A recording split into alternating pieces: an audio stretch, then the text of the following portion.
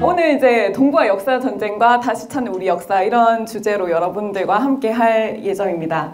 어, 원래 인문학이라는 것은 인간에 대한 관심이거든요. 그래서 우리가 4차 산업혁명을 맞이하고 있지만 기술력이 아무리 높아진다고 한다 하더라도 어, 우리는 여전히 인간다움을 찾고 있다라고 이제 생각을 합니다. 그래서 인간과 세상에 대한 그런 고찰, 그런 것들을 끊임없이 추구를 하고 있는데요.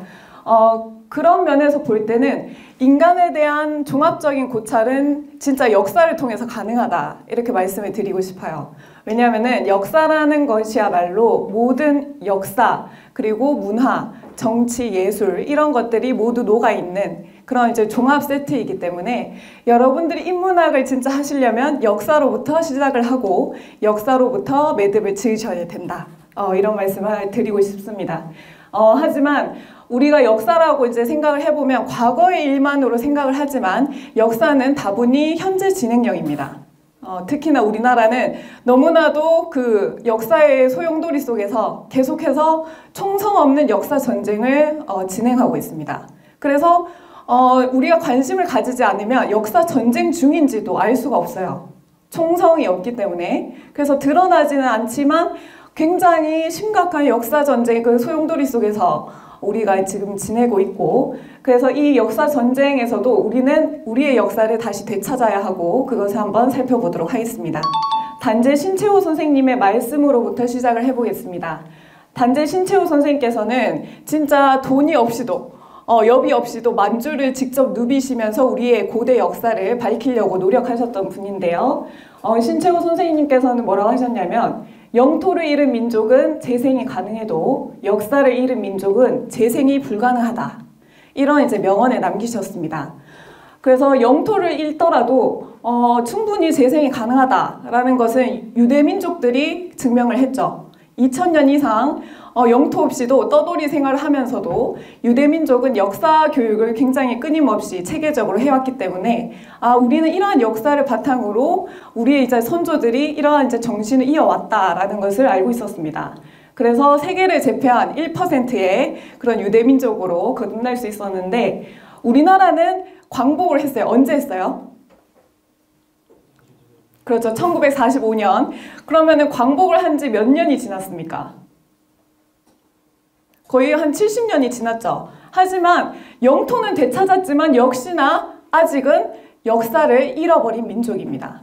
그래서 영토는 되찾았지만 우리는 역사를 잃어버렸다라고 이제 말씀을 드릴 수가 있는데 보시면은 자 동북아시아는 현재 영토 분쟁으로도 굉장히 시끄럽죠. 자 센카쿠 열도는 어디 분쟁이에요? 그렇죠. 일본과 중국 사이의 그런 영토 분쟁이고 쿠릴 열도는 어디 분쟁일까요? 그렇죠. 그 러시아와 일본. 그리고 이제 독도는 뭐 아주 대놓고 그냥 일본 거라고 교과서에서도 얘기를 하고 막 다케시마의 날 난리죠. 네. 그렇게 이제 영토 분쟁이 심한데 이런 영토 분쟁은 아주 빙산의 일각입니다. 그러니까 우리 눈에 보이는 아주 작은 부분이고 사실은 더 많은 역사 왜곡이 아주 오래전부터 진행되어 왔습니다. 자, 일본 같은 경우에는 아베를 중심으로 구구파 세력들이 굉장히 힘을 얻고 있죠. 그래서 뭐 역사 교과서 망원뿐만이 아니라 야스쿠니 신사를 대놓고 다 참배를 하고 있어요. 그래서 어, 과거사에 대한 반성은 전혀 기미가 보이지 않습니다. 그래서 오히려 얼마 전에 개헌을 발표했죠. 개헌을 하면서 우리는 어, 다시 우리의 군대를 어, 결성을 하겠다. 정식 국군으로 군대로 이제 승급하는 그러한 개헌을 발표하기도 했습니다. 자, 그래서 결국에는 뭐 역사 왜곡 교과서는 아주 오래전에 통과가 됐고요. 자, 교과서에 어, 역사 왜곡된 내용이 실렸다는 것은 무엇을 뜻하냐면 어, 거짓말을 한 번 하고 두 번 하고 한 100년 동안 하면 그 거짓말이 어떻게 되겠어요? 그렇죠. 진실이 되어버립니다. 그래서 이 교과서라는 것은 계속해서 남아서 우리 그 어린 그 학생들을 계속해서 가르치기 때문에 이런 문제는 아주 큰 중대한 범죄에 해당되는 행위입니다. 자, 그래서 이제 이런 왜곡된 내용을 실은 교과서들이 후소사 교과서뿐만이 아니라 지우샤 교과서도 있고 계속해서 이제 출판이 되고 있고요. 독도 문제는 뭐 누가 말을 하지 않아도 너무나도 극명한 문제로 이제 대두가 되고 있습니다.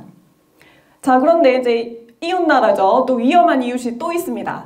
그것은 바로 이제 중국인데요. 자, 중국은 한 발, 한 발짝 더 나아가죠. 중국은 우리가 스케일이 크니까 어, 뻥치는 거 이왕 이제 크게 치자 이렇게 얘기를 합니다. 그래서 뭐라고 하냐면 아예 고구려 발해 한강 유역까지 중국 땅이라고 하자 이렇게 얘기를 합니다.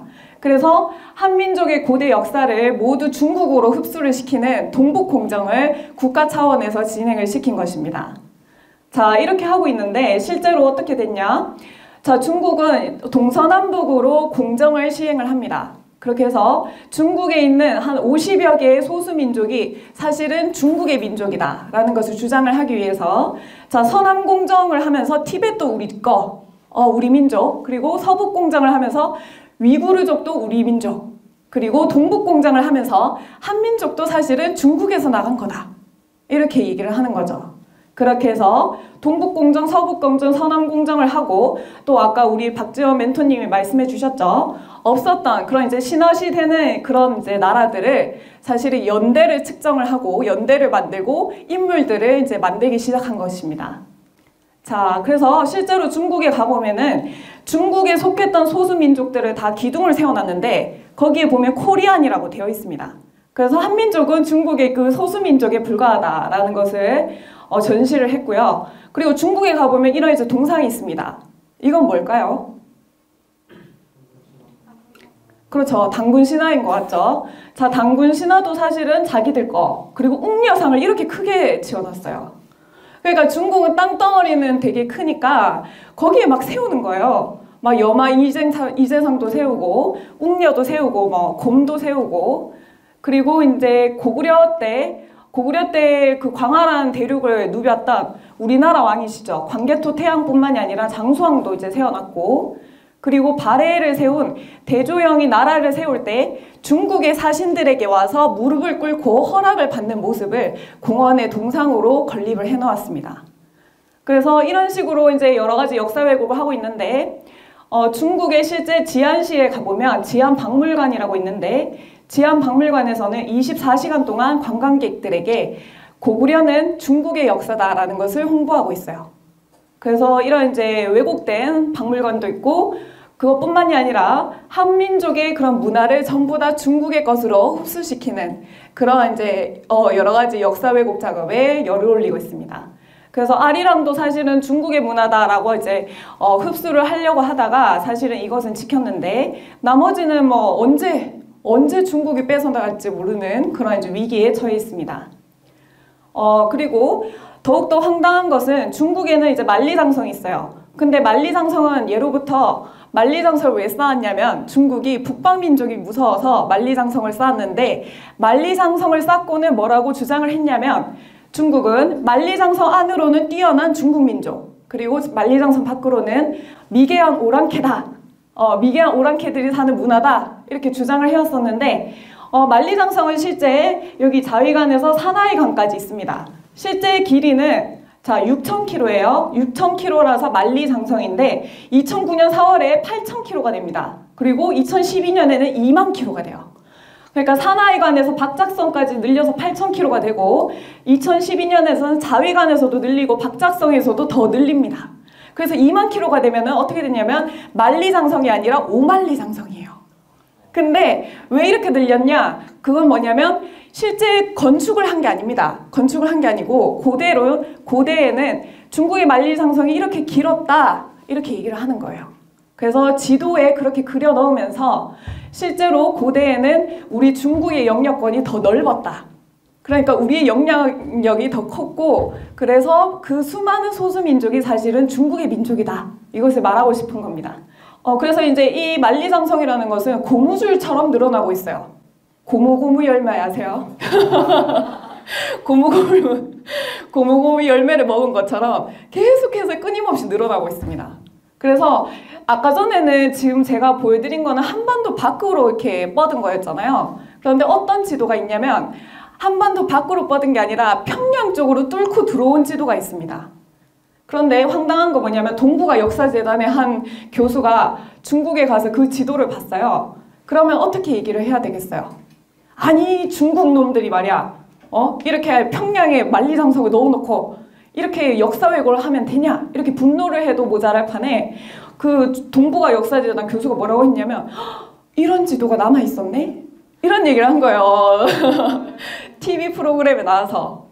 그래서 굉장히 환당한 사건이었는데 중국이 만리장성을 이렇게 늘리게 된 근거는 뭐냐? 그거는 고구려 성들입니다.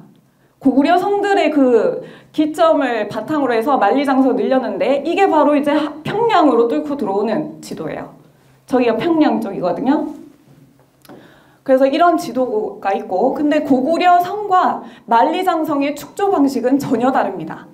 그래서 방식뿐만이 아니라 그런 어떤 재료 그런 것들도 다 다른데 이런 식으로 계속해서 늘어나고 있어요. 고무줄처럼.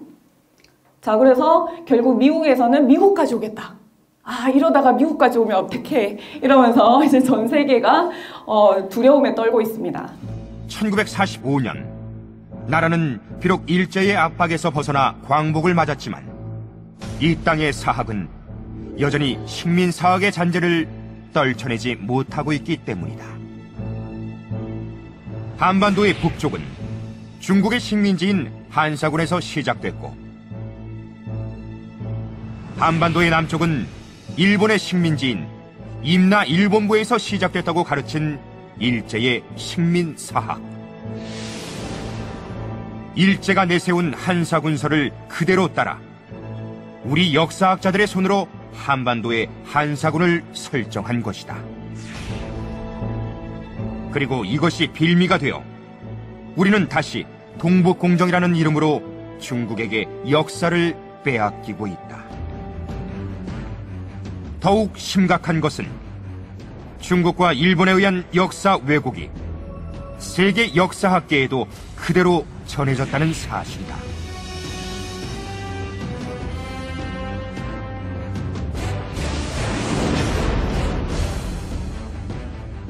중국과 일본의 역사 침탈을 넘어 영토 침탈로 이어지고 있는 지금 우리는 과연 무엇으로 역사와 영토를 지켜낼 것인가?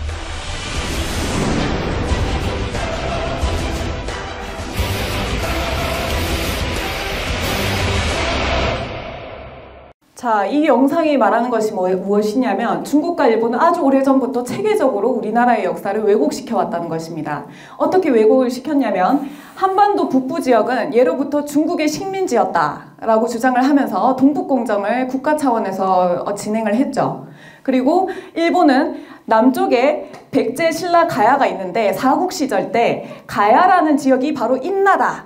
근데 인나라는 곳에 일본부라는 식민 통치 기관을 세웠다. 이렇게 얘기를 하면서 한반도 남부는 일본인 식민 지배를 했었다라는 것을 주장을 합니다.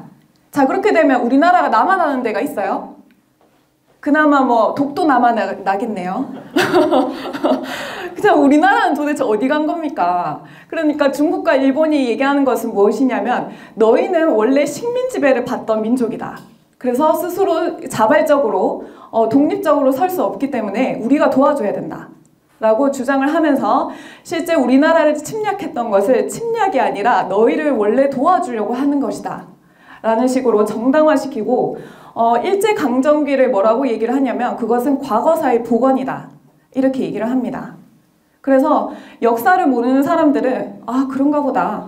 어, 원래 우리가 이제 식민 지배를 받던 민족이니까 우리를 도와주는가 보다라고 이제 생각할 어, 소지가 있죠. 그런데 놀랍게도 그것을 국가 단체에서 그대로 답습을 하게 됩니다. 그게 뭐냐면 원래 이런 이제 중국의 동북 공정뿐만이 아니라 일본의 역사 왜곡에 대응하기 위해서 노무현 정부 때 노무현 정권 때 나라에서 어, 세운 단체가 있습니다. 혹시 아시나요? 어, 그 역사 왜곡에 대응하기 위해서 만든 단체가 뭐냐면 동북아 역사 재단이라는 것입니다. 그래서 노무현 정부 때 세워졌고 중국과 일본의 역사 왜곡에 대응해라 라는 취지로 만들어졌는데 1년에 혈세를 얼마나, 얼마나 쓰냐면 200억 이상 써요. 200억 이상 쓰는데 동북아 역사 지도를 어느 날 발표를 합니다. 동북아의 역사 지도를 발표를 했는데 놀랍게도 중국의 동북공정 지도와 아주 똑같은 지도를 내놓게 됩니다. 그렇게 하고는 공개 검증을 계속할 것이다 이런 얘기를 남겼죠. 하지만 공개 검증 이후에도 바뀐 것은 없었어요. 그리고 얼마나 황당하냐면 아까 북쪽은 한반도 북쪽은 중국의 그 식민지 그리고 남부는 일본의 식민지라고 얘기를 했는데 그것을 그대로 적용을 한 동부의 역사 지도가 탄생을 합니다. 그래서 위쪽에는 한사군이 있고 낙남군 뭐 그 속현들이 한사군이죠. 그 한사군 한나라의 식민통치기구가 있었다라는 것이고 그리고 이제 그 밑에는 4세기 초에 신라 백제가 없다는 것은 임나일본부가 강력하게 있었기 때문에 어 그래서 신라 백제가 없이 그린 것입니다. 그래서 우리나라의 혈세를 200억 이상 쓰면서 이러한 동북 공정에 그리고 일본의 역사 왜곡에 동조하는 지도를 만들어낸 것이죠. 그래서 이것은 굉장히 큰 문제라고 볼 수가 있고 자 그렇다면은 이 동북아시아의 역사적 관계는 실제 어떠한가 이것을 이제 한번 짚어봐야 됩니다. 자 우리나라는 아주 예로부터 상고사를 짚어보면 우리나라의 상고사는 환인, 환웅, 당군의 시절이 있었습니다. 그래서 예로부터 환인, 환웅, 당군을 얘기를 해왔었는데 그런데 우리나라는 이 환인, 환웅, 당군을 뿌리로 해서 역사가 진행되어 왔는데 그렇다면 중국과 일본은 그 뿌리가 누구냐? 자, 중국의 시조가 누구로 알고 계세요? 아까 이제 멘토 박지원 멘토님께서 말씀을 하셨어요. 네? 크게 틀려도 됩니다. 틀려도 돼요. 벌칙 없습니다. 네, 중국의 시조 누구로 알고 계세요? 자, 3자로 시작해서 3자. 그렇죠, 그렇죠. 사망 오제입니다. 자, 사망 오제고, 그리고 일본의 시조는 누구일까요? 신무천왕. 어, 일본의 시, 시조는 신무천왕인데, 자, 그렇다면 이 동북아시아의 그 뿌리, 역사적 뿌리 관계는 어떻게 되냐면, 사망 오제라는 사람들은 바로 환웅의 시절 때 우리가 중원 땅으로 파견을 한 사람들입니다. 그래서 사, 환웅의 시절 때 중원 땅으로 이제 가서 중국 사람들의 중국의 뿌리가 됐고 그리고 신무천왕은 누구냐면 당군의 시절 때 당군의 시절 때 딱 보니까 일본 열도가 굉장히 해적이 많이 출몰하고 혼란스러웠어요. 그래서 협야후 배반명이라는 사람을 파견을 합니다. 그래서 협야후 배반명이 일본 땅으로 넘어가서 거기에서 이제 해적들을 물리치고 모두 평정을 하죠. 그래서 삼도를 통일했다. 이렇게 이제 알려져 있는데 삼도를 통일하고는 협야후 배반명이 스스로 스스로 천황에 이제 등극을 하게 됩니다. 그러니까 역사의 뿌리를 보면은 중국이나 일본이나 다 컴플렉스를 가지고 있습니다. 아, 우리가 한민족을 벗어날 수가 없구나. 그렇기 때문에 뿌리를 끊어내는 그래서 우리의 관계를 끊어내는 그런 이제 역사 왜곡들을 해왔던 것인데 자, 이용범 박사님 아까 이제 잠시 설명을 드렸죠.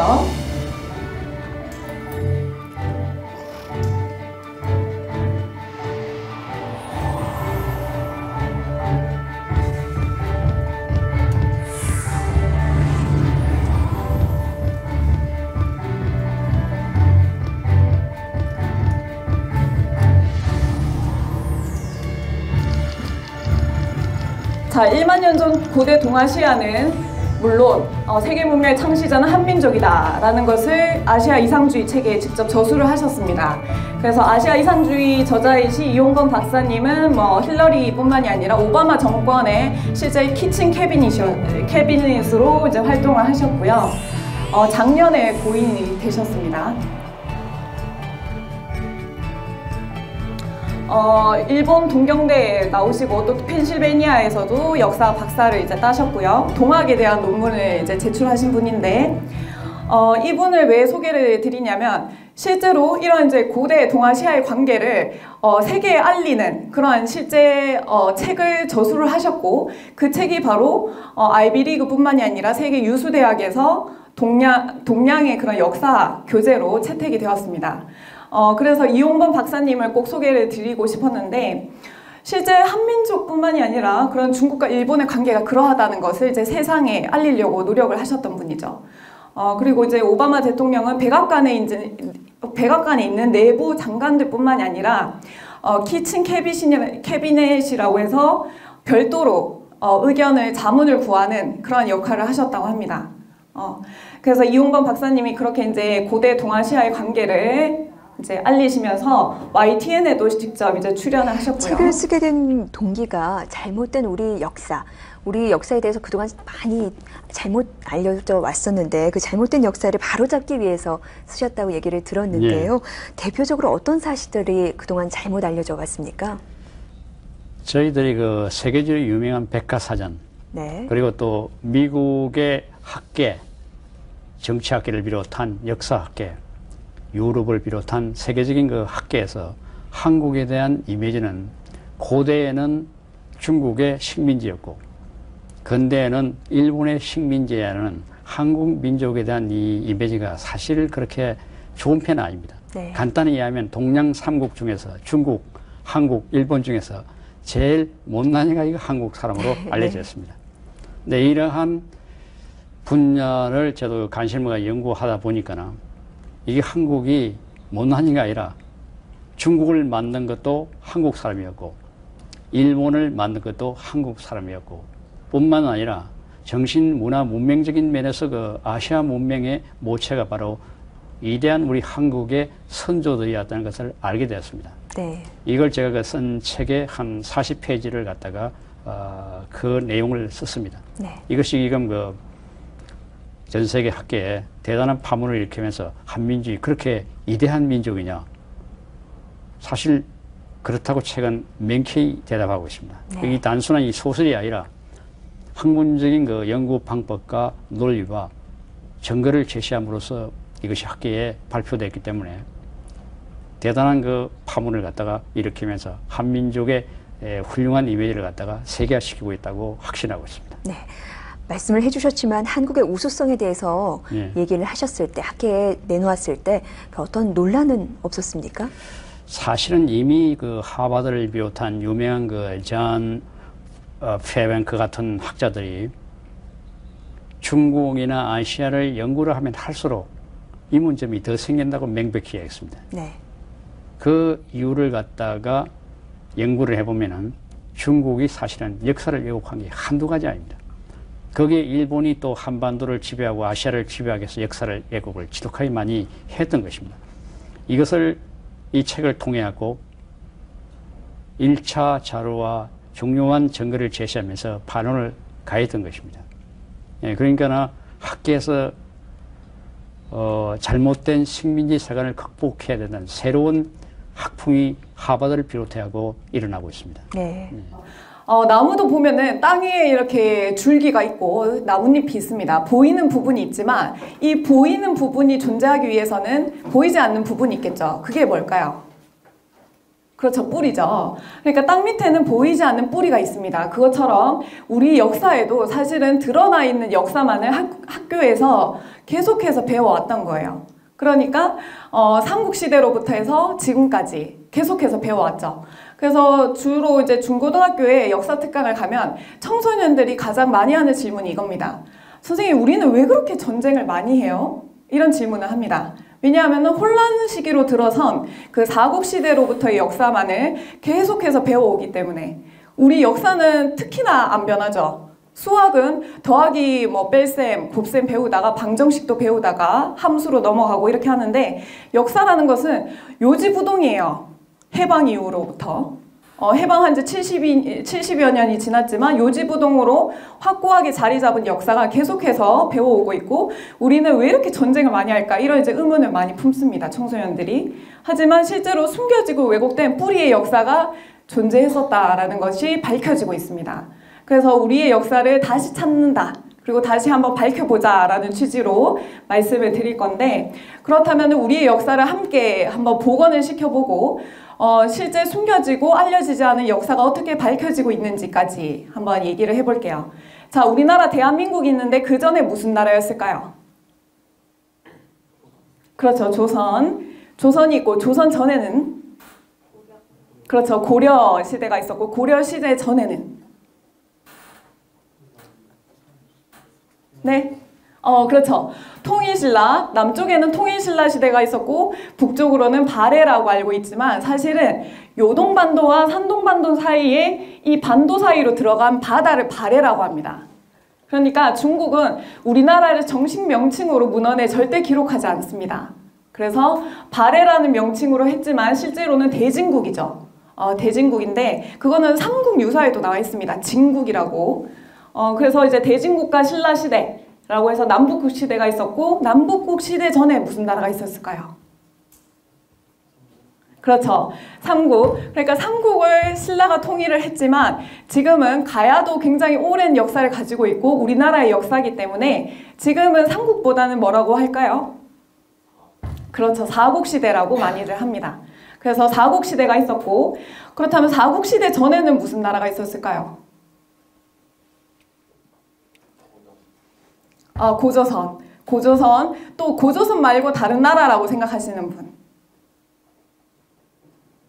뭔가 이제 교과서에서 배우실 때 옥저 이런 나라도 기억나시나요? 동해 이런 나라도 있었죠. 그러니까 사실은 어, 사국시대 전에 부여, 옥조, 옥저, 동해, 낭랑 그리고 남사만 이런 이제 수십 개의 나라가 있었습니다. 그래서 수십 개의 나라로 분열되어 있었기 때문에 여러 나라가 있었다고 해서 열국시대라고도 하죠.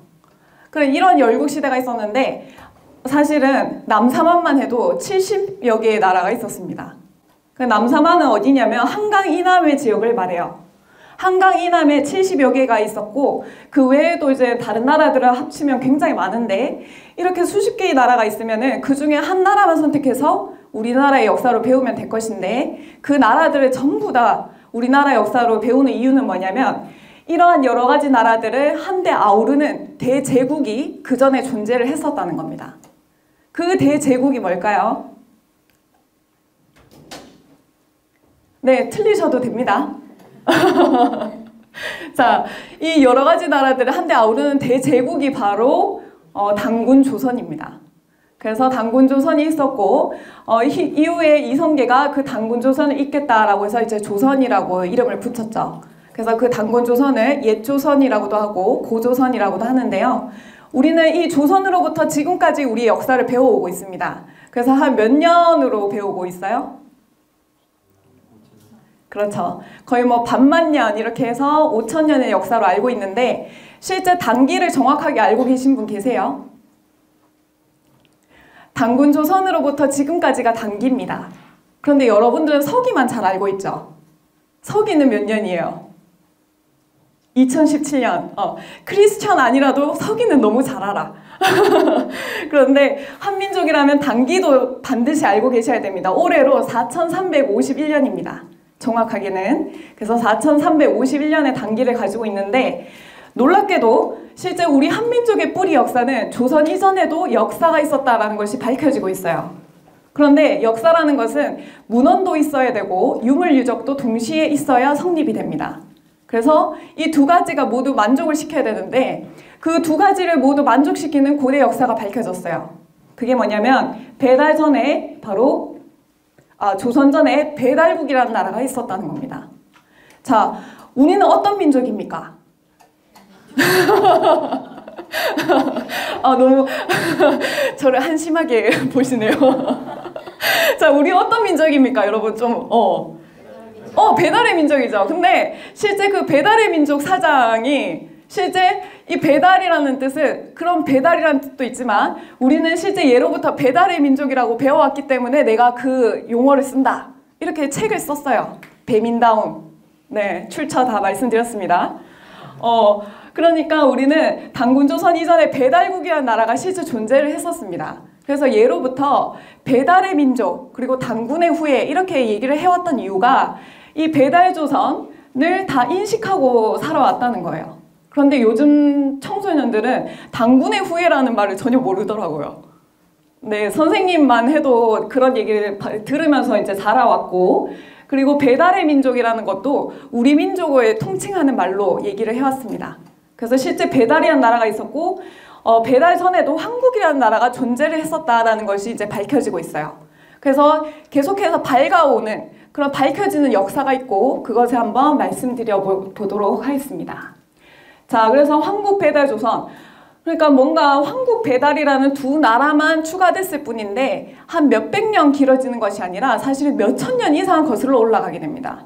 그래서 전 세계 사람들이 주목을 하고 있고 그것을 이제 놀라워하고 있는데요.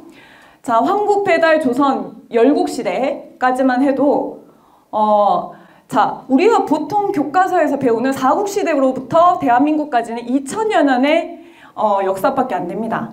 그래서 일본에 여행 가보시면 이웃나라 한국은 2000년의 역사를 가진 나, 미, 어, 나라다 이렇게 이제 되어 있어요. 그런데 놀랍게도 한국으로부터 열국시대까지 이 뿌리 역사는 자그마치 7천년에 달합니다. 그래서 거의 뭐 우리가 조선부터 하면 단기가 4,351년인데 한국으로 거슬러 올라가면 거의 9,000년까지 어, 아우르는 그런 이제 역사가 나오는 것이죠. 그래서 이용범 박사님도 1만 년의 역사가 사실은 잠들고 있다. 그것을 우리가 이제 한번 어, 조명을 해봐야 된다 이런 얘기를 하셨던 거고 그래서 우리가 실제 이 잠들고 있고 왜곡되고 말살된 이 뿌리 역사가 실제 어떻게 복원되고 있는지 한번 살펴보도록 하겠습니다. 자 그런데 우리는 왜 이 뿌리 역사를 전혀 모르고 있고 단군 조선 정도만 단군 신화로 어, 치부하고 있는지 이제 한번 살펴볼 텐데요. 우리나라의 정통 역사서로 이제 인정받고 있는 사서들이 있습니다. 그것이 무엇일까요? 그렇죠. 김부식 고, 고려 시대 때 김부식이 지은 삼국사기가 있습니다. 그런데 삼국사기는 왕명을 받아서 정식으로 편찬한 사서인데 삼국사기는 어느 나라를 이제 다뤘을까요? 삼국의 역사겠죠. 자, 삼국의 역사는 무슨 나라겠어요? 어, 그렇죠. 고구려 백제 신라의 역사를 다뤘는데 삼국사기를 보면은 당군 조선이라는 말은 단 한마디도 없습니다. 그래서 진짜 삼국의 역사만 다뤘어요. 순수하게. 그래서 읽어보면 아 한민족은 삼국으로부터 시작을 하나 보다 이렇게 생각할 수밖에 없고 삼국 외에는 다른 역사를 상상할 수조차 없습니다. 그래서 그런데 같은 고려 시대 때죠. 고려 후기에 이런 스님께서 어, 우리나라는 삼국뿐만이 아니라 다른 많은 역사가 있는데 아쉽다 이런 이제 생각을 하신 거죠. 그래서 정사는 아니지만 야사로서 삼국 유사를 지으셨습니다. 삼국 유사에는 북부여도 있고 동부여도 있고 그리고 당군조선도 있고 놀랍게도 황국도 있습니다. 그래서 굉장히 많은 다양한 나라들이 있는데 그 나라들이 전체 맥을 알 수 없게 지어졌어요. 왜냐하면 정식 사사가 아니다 보니까 조금 맥을 잡긴 어렵지만 하지만 그래도 우리의 뿌리 역사를 알 수 있는 그러한 단초들을 충분히 제공을 하고 있습니다. 어 근데 이런 삼국 사기와 삼국 유사는 우리나라에서 정통 역사서로 인정을 받고 있는 책인데 그렇다면 우리 뿌리 역사가 어떻게 말살되었는가를 보면은 사실은 삼국 유사에서는 황국 배달 조선으로 이어지는 우리의 그런 뿌리 역사의 단초를 제공하고 있는데 그것이 역이용된 거예요. 왜냐하면은 매우 구체적이지 못해서 어, 역이용되게 됩니다. 그래서 어떻게 이용이 되냐면 일제시대 때 삼국 유사에 나타난 환희, 환웅 이야기가 사실은 일제시대 때 손을 거쳐서 단군 신화로 어, 바뀌게 됩니다. 그것을 볼게요. 자, 삼국 유사에는 뭐라고 나타나 있냐면 환인이라는 하나님이 어, 계시다고 되어 있죠. 하늘에. 그런데 이분에게 아들이 있었습니다. 누군가요? 그렇죠. 환웅이라는 아들이 있었고 환웅이 이제 뭐 하늘에서 인간 세상을 딱 내려다 보니까 굉장히 다스리기 좋을 만한 어, 그런 이제 가고 싶은 곳이었어요. 그래서 제가 가보겠습니다. 이렇게 포부를 밝혔더니 환인이 좋다 내려가봐라 이렇게 해서 환웅이 어디로 내려왔죠? 네? 네, 놀랍게도 우리나라로 내려오죠. 자, 우리나라에 어디로 내려오셨어요? 백두산. 백두산에 딱 내려왔더니 또 누가 발, 반겨줬어요? 환웅을? 삼국유사에 따르면? 그렇죠. 공강 호랑이가 막 손, 딱 손 들면서 막, 어, 밝히면, 막 이제 반겨줍니다. 어, 그래서 환웅에게, 근데 환웅을 보니까 너무나도 멋진 거예요. 그래서 공강 호랑이가 저희도 당신과 같은 사람이 되고 싶습니다. 이런 요청을 합니다. 그랬더니 환웅이 어떤 비법을 전수합니까? 그렇죠. 오냐? 그렇다면은 이거나 먹어라. 이러면서 이제 쑥마늘을 주고는 뭘 시키냐면 100일 정성 수행을 시킵니다. 그렇게 해서 결국에는 이제 곰호랑이는 동굴에 들어가서 100일 동안 이제 쑥마늘을 먹으면서 햇빛을 보지 않고 이렇게 했는데 결국 어떻게 돼요? 호랑이는 도저히 못 해 먹겠다. 이러면서 이제 뛰쳐나가고 곰은 어떻게 됩니까? 네, 보시다시피 굉장히 힘들어 보이지만 미련하게 끝까지 해냈다라는 것이 이제 삼국유사에 나오죠. 그렇게 해서 이제 결국에는 고문 아웃되고 교화되지 못했다라고 나옵니다. 그리고 고문 갑자기 털이 막 빠지기 시작하면서 S라인의 웅녀로 탄생을 하게 됩니다. 네, S라인의 웅녀는 어, 또 누구와 눈이 맞아요? 어, 그렇죠. 환웅과 다시 어, 사랑을 하게 돼서 결국 어, 태어난 것이 바로 당군 조선을 세운 당군이시고 이 당군은 삼국유사에 따르면 몇 년을 사셨다? 1908세를 살다가 하늘로 돌아가셨다. 자, 이것이 삼국유사에 나오는 우리 고대 역사입니다. 자, 이것을 세계에 알릴 수 있겠어요? 당당하게. 아, 이게 우리 한민족의 역사야. 신선의 역사 같죠? 네. 그래서 사실은 많은 허점들이 있습니다. 허점들이 있지만 우리가 이것을 살려낼 건 살려내야 돼요. 살려낼 걸 살려내야 되는데 그것을 어, 일제시대가 일제시대 때 일본 사학자들이 오히려 역이용을 했다는 거죠. 그렇게 해서 당군 신화로 만들어 버립니다. 그래서 당군 신화라는 것은 우리가 알지 못했던 황국 배달 조선의 그 기나긴 7천년의 역사를 당군 신화라는 이름으로 압축을 해버린 거예요. 그래서 우리는 당군 신화만 알고 있지 실제 당군 조선에 대해서 아는 게 없습니다. 당군 조선이 사실은 2000년이 넘는 역사를 이어왔지만 우리가 당군 조선에 대해서 배운 거를 얘기를 해보려고 하면 중고등학생들이 열 손가락을 안 넘어요. 인물이든 유물유적이든. 그래서 우리가 거기에 이제 문제의식을 가져야 되고 그래서 오늘은 우리가 이 압축을 풀어볼 겁니다. 압축을 풀어볼 건데 압축을 풀기 위해서는 두 가지 키워드 열쇠가 필요합니다. 자, 첫 번째 키워드는 뭐냐면 어, 어 죄송해요. 이거를 아 이거를 교체를 한다는 걸 깜빡했네요. 자, 자 이분들의 어, 이 이분 빼고 이분들의 그 공통점이 뭘까요? 대통령이죠. 네. 어, 너무 놀랐어요, 지금. 네. 그러니까 대통령이라는 관직 명이 동일하죠. 그것처럼 우리가 환인 환웅 당군을 이름으로 알고 있는데 사실은 관직명입니다. 대통령과 같은 관직명. 그렇다면 한 분이 아니라 여러분이 계시겠죠. 그게 너무나도 당연한 거예요. 왜냐하면 2000년이 넘는 당군 조선 동안 우리는 알고 있는 게 누구다? 당군왕거, 그리고 위만, 준왕. 어우, 세 명이서 2000년을 해먹었어. 너무 놀랍죠. 그러니까 사실은 환희 환웅 당군이라는 것은 이름이 아니고 관직명이다. 그러니까 여러분들이 존재를 했었다. 그래서 환희는 총 7분이 계셨어요. 7분이 계셨고 환웅은 18분 그리고 당군은 47분이 계셨습니다. 그래서 각각 어, 황국 배달 조선을 통치를 하셨고 어, 그분들이 사실은 이제 나라를 이끌어 갔던 그런 통치자 역할을 했던 것이죠. 어, 그리고 두 번째 키워드는 뭐냐면 우리가 공과 호랑이 아까 이제 환웅이 딱 백두산에 오셨을 때 공과 호랑이가 막 반겼잖아요. 그런데 진짜 짐승들이 그렇게 반겼을까요?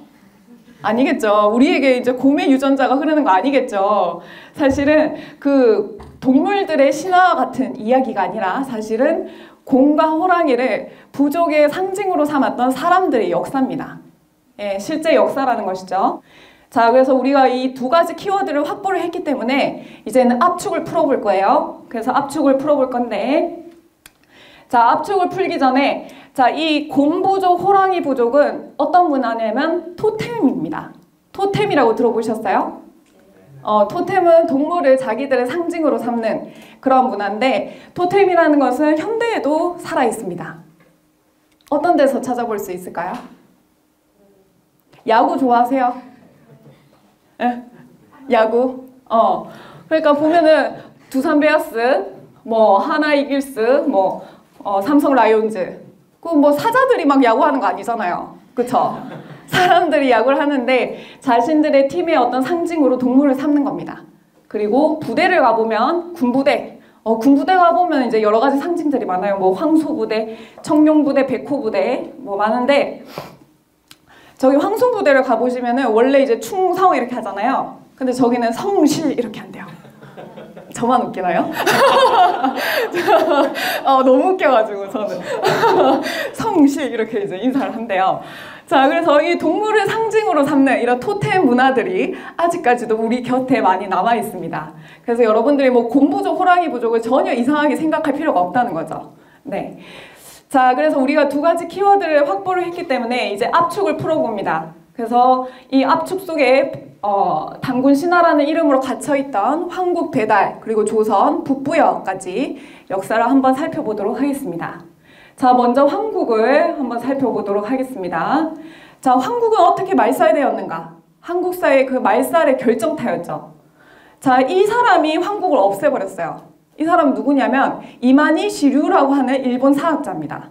일제 강점기 시절 어, 조선 청독부 산하에 조선사 편수회를 설치하게 됩니다. 자, 조선사 편찬회라는 것은 뭘 편찬하겠어요? 그렇죠. 조선사를. 근데 일본인들의 손으로 일본어로 된 조선사를 편찬하게 됩니다. 근데 그것을 주도했던 인물이에요. 이만희 시류, 금소령이라고 하는데 이 사람은 동경대 출신으로 머리가 굉장히 비상했습니다. 그래서 조선사 35권을 만들었는데 조선사 35권은 어, 지금도 남아있고 그것이 번역이 안 된 채로 남아있어요. 왜냐하면 식민사학, 강단사학에서는 그것이 번역이 되면 지금의 교과서가 너무 똑같다는 것이 밝혀지기 때문에 번역을 꺼려하고 있습니다. 그런데 인하대 고조선 연구소에서 그것을 번역을 들어갔고 고려사는 번역이 끝났어요. 그래서 고려사를 번역을 해봤더니 교과서의 고려사랑 복붙이야. 뭔지 아시죠? control C, control V. 그래서 이제 지금 계속해서 인하대 고조선 연구소에서는 계속해서 번역을 진행하고 있고 강단사학에서는 계속해서 방해를 놓고 있습니다. 그래서 어떻게 어찌됐든 자 이만희 시류가 그 조선사를 어, 주도했던 인물인데 이 이만희 시류는 한국사를 어떻게 말살할까 이렇게 골똘히 생각하던 와중에 삼국유사에서 네 글자를 발견하게 됩니다. 그게 뭐냐면 석유환국이라고 돼 있죠. 석유환국 옛적에 있었다 황국이라는 나라가 근데 이거는 나라 국자거든요. 아 여기 왼쪽이죠. 옛적에 있었다 황국이라는 나라가 이렇게 이제 네 글자가 있는데 이 네 글자에서 한 글자를 변조를 하게 됩니다. 어떻게 하냐면 나라 국자를 인자로 바꿔요. 인자로 바꿔서 석유 환인 옛적에 있었다 환인이라는 신화가 이렇게 돼버립니다. 그러니까 어, 한 국가의 존재를 한 글자를 바꿈으로써 신화로 만들어버리고 한 사람의 신화로 완전히 바꾸게 되는 그런 놀라운 이제 한국사 말살의 결정타를 날리게 됩니다. 그래서 이만희 시류는 뭐 아주 간단하게 황국을 없애버렸어요. 그러니까 한 글자를 바꿈으로써 국가의 존재를 없애버렸는데 이것은 9시 뉴스에도 보도된 바가 있습니다. 자, 그것을 볼게요. 고조선의 건국 신화로 알고 있는 단군 신화가 신화가 아니라 실제로 있었던 역사라는 사실을 입증한 책이 나왔습니다. 일제가 삼국 유사에 나오는 고조선 관련 기술을 변조했다는 겁니다. 우상욱 기자입니다. 고려의 승려 이련이 쓴 역사책 삼국 유사입니다. 현재 출간된 대부분은 단군의 아버지인 환웅이 환인의 서자인 것으로 기술돼 있습니다. 하지만 문제의 인자는 간자체 국자에 가필된 흔적이 역력합니다. 일제시대 이만희 씨라는 일본 사학자가 변조한 것입니다. 변조 이전의 삼국 유사를 보고 정리한 동경제대 발간본에는 국자로 분명히 기술돼 있습니다. 한민족이 단군 조선 전에 이미 환국이란 나라를 형성했다는 역사적 사실을 일제가 왜곡했다는 분석입니다.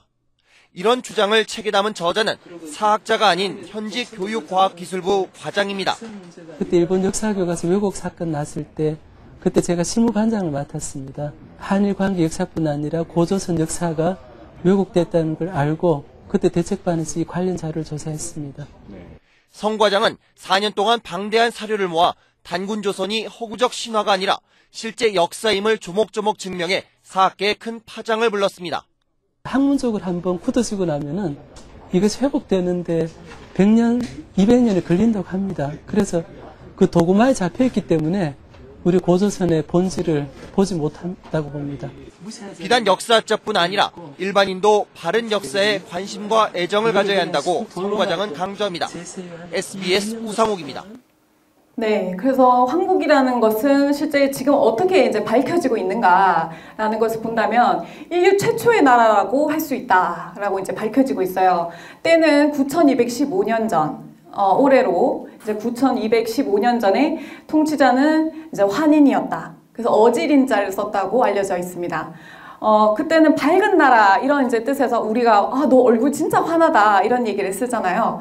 그러, 그것처럼 굉장히 광명의 사람들, 어, 밝은 사람들, 그러니까 본성이 어, 때묻지 않은 그런 사람들의 세계라고 알려져 있습니다. 그래서 통치자를 환인이라고 했고 어, 굉장히 넓은 영토를 어, 황국으로 다스렸기 때문에 이때는 거의 뭐 세계 연방 국가 그런 이제 체제로 운영이 됐을 것으로 추측하고 있습니다. 어, 이러한 이제 고대 문명에 대해서는 세계 석학들을 뭐라고 얘기를 하냐면 어, 거성 문화를 주로 연구하는 마샬 같은 사람들은 고대 사람들은 오히려 우리가 생각하기에는 오히려 미개했을 것이라고 생각을 하지만 오히려 평화롭고 창조적인 문명의 황금 시대를 누렸다 이런 얘기를 합니다. 그리고 영국 심리학자 스티븐 테일러는 어, 그 이전에는 그러니까 BC 4000년 그 경계로 그 이전은 황금 시대였고 그때는 완전한 미덕을 갖춘 사람들이 오늘 뭐 이벤트가 많네요. 저 여기 가서 읽어요. 자, 그 어, 살던 시대로 어떤 집단도 침략을 하거나 정복하려 들지 않았고 도둑질을 하지도 않았다. 그리고 놀라운 것은 여성과 남성의 지위는 평등했고 어떤 계급, 계층 차별도 없었다. 어, 그래서 오히려 현대를 사는 사람들이 꿈꾸는 이상적인 세계가 고대에 있었다. 이런 얘기들을 하고 있습니다. 어, 실제로도 신통기를 지은 저자인 헤시오도스 같은 경우에는 어, 고대일수록 황금 시기였다. 황금의 시대였고 그리고 점점 점점 은의 시대, 청동의 시대 이런 식으로 변해갔다 이런 얘기를 하는데 그것은 뭐냐면 우리는 지금 구석기, 신석기, 뭐 청동기, 철기 이런 식으로 배우잖아요. 역사시대 구분을. 그것은 오로지 물질을 중심으로 한 역사시대 구분이라는 것입니다. 하지만 오히려 정신사적인 측면에서 봤을 때는 고대에 더 평화롭고 높은 정신의 문화를 어, 향유했다. 이렇게 이제 보고 정신사적 측면에서는 지금은 오히려 퇴보했다. 이런 얘기를 합니다. 그래서 물질적으로는 뭐 4차 산업혁명, 뭐 계속해서 이제 발전을 하고 있지만 정신사 측면에서는 퇴보했다 이런 얘기들을 석학들은 하고 있죠. 그래서 이 환인들은 총 7분이 계셨고요. 안파경 환인뿐만이 아니라 혁서 환인, 그리고 구울리 환인, 지위리 환인까지 어, 한국이라는 나라는 3천년 동안 지속이 된 굉장히 놀라운 문명을 가지고 있었다고 합니다.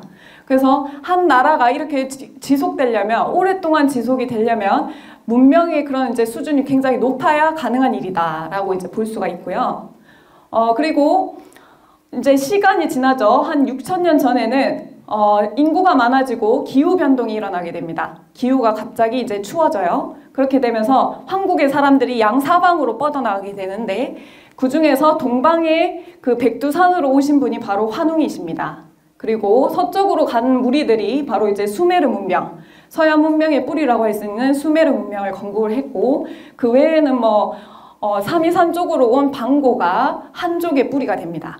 어, 방고는 중국에서도 지금 전설 속에 그런 인물로 얘기를 하지만 사실은 중국의 뿌리가 되고 한족의 뿌리가 되겠죠. 그리고 나머지는 뭐 베링 해협을 건너서 인디언 문명까지도 개척을 하는데 자 그렇다면은 그 중에서도 정통을 이은 사람이 누구냐라는 것을 생각해 보지 않을 수 없습니다. 어, 그 중에서도 환웅께서는 그 정통을 이은 증표로서 천부인을 가지고 왔다라고 이제 전해지고 있습니다. 그런데 실제 이 도장이라는 것이 약간의 인주가 묻은 듯한 모습으로 이 홍산 문화에서 발견이 되게 됩니다. 그래서 어, 천부인이라는 것은 실물이 없었는데 사실은 이제 실체가 드러나기 시작을 했고요. 그리고 이제 환웅께서 실제 백두산에 이제 자리를 잡으실 때는 곰과 호랑이가 있었던 것이 아니라 곰부족, 호랑이부족, 토템 문화를 가진 그런 이제 부족들이 있었다는 것이죠. 그런데 어, 호족은 사실은 굉장히 사납고 교화되기 어려운 특성이 있었고요. 그리고 웅족은 어, 미련하지만 그래도 한번 시작한 거 끝까지 해보자 라는 끈기가 있었다고 합니다. 어, 그래서 실제로 호족은 교화되지 못했고 어, 실제 웅족이 교화가 됐는데 웅족의 우두머리는 여성이었다고 합니다. 그래서 우리가 알고 있는 웅녀가 사실은 부족장이었다 이렇게 생각을 하시면 되고요. 어, 이렇게 환족과 웅족의 결합으로 결국에는 어떤 나라가 이제 태동이 되냐면 배달국이 이제 형성이 됩니다. 그래서 배달국이 환족과 웅족의 결합으로 배달국이 이제 열리게 되는데요. 그렇기 때문에 배달국이라는 것은 어, 한민족의 본격적인 첫 시작이다 이렇게 생각을 하시면 됩니다. 왜냐하면 황국이라는 것은 거의 세계 연방국가 차원의 나라였기 때문에 배달국 때부터 한민족의 본격적인 시작이라고 볼 수가 있고 우리는 환족과 웅족의 피가 동시에 흐르고 있다 이렇게 이제 생각을 하시면 쉽겠습니다. 어, 그래서 배달국은 백두산을 중심으로 해서 한반도 그리고 만주 지역 그리고 중국의 지금의 동부 지역까지 모두 아우르는 대제국이었고 어, 지금으로부터는 5915년 전으로 추측을 하고 있습니다. 그리고 통치자는 이제 환웅이었는데 어, 실제로 이 환웅께서 이 배달국을 다스리셨고 그리고 이제 이 배달국 때는 본격적으로 이렇게 털을 잡았기 때문에 거기서 문명이 꼽히게 됩니다. 그래서 여러분들은 배달국 하면은 배달국의 문화 3대 영웅을 꼭 알아두실 필요가 있어요. 자, 문화 3대 영웅은 누구냐면 바로 태오보키 씨. 첫 분은 태오보키 씨입니다. 그리고 두 번째 분은 염제 신농. 그리고 세 번째 분은 치유천왕입니다. 어, 태오보키 씨는 태오보키 씨는 누구냐면 배달국의 오세 환웅, 오세 환웅이 태우이 환웅이었는데 태우이 환웅의 막내 아들이셨어요. 그러니까 배달국의 왕자셨겠죠.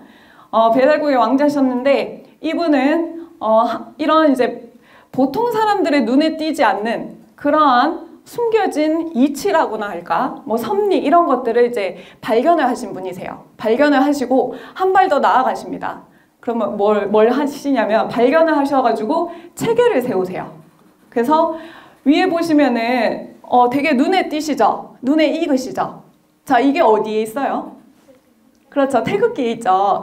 태극기는 8개 중에서도 4개를 이제 얹어 놓은 겁니다. 건공감리. 그런데 실제로는 8개 의 원리를 태오부키께서 발견을 하셨고, 그리고 이제 실제 체계를 세우셨죠. 그래서 음양 8개라고도 하는데, 이러한 원리는 놀랍게도 많은 그런 서양 과학과 그리고 수학에 영향을 주게 됩니다. 어, 실제 라이프니츠는 논문에서 태호복희씨를 언급을 하게 됩니다. 뭐라고 하냐면 라이프니츠는 이진법을 개발한 수학자인데 라이프니츠는 자기의 친구가 그 선교사였어요. 부베라고. 근데 부베 선교사가 동양에서 이제 활동을 하면서 편지를 계속해서 주고받습니다. 그런데 동양에 이러한 가르침이 있다. 그러면서 계속해서 편지를 보내는데 라이프니츠는 그 편지에서 영감을 받아서 이진법의 원리를 개발을 하게 됩니다. 그 이진법의 원리가 바로 음양의 원리에서 이제 개발을 한 것이고 라이프니츠는 뭐라고 논문에 적냐면 태호복희씨는 고대 수학 왕이자 과학 왕이었다. 그래서 나는 그분을 존경하고 그분에게서 영감을 받았다. 라는 것을 논문에 이제 밝히게 되고요. 어, 그래서 태호복희씨의 이런 이제 가르침들이 사실은 고대의 지혜가 지금까지도 영향을 주고 있다라고 보시면 되겠습니다.